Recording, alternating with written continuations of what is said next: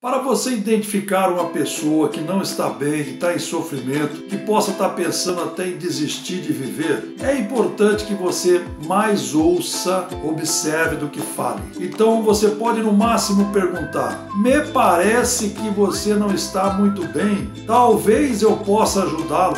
Procurar ajuda não é vergonhoso. Quanto mais cedo procurar um profissional de saúde mental, melhor será o tratamento, o prognóstico. O suicídio é uma doença e assim deve ser tratada. E tem solução, quanto mais cedo for procurada, é ajuda.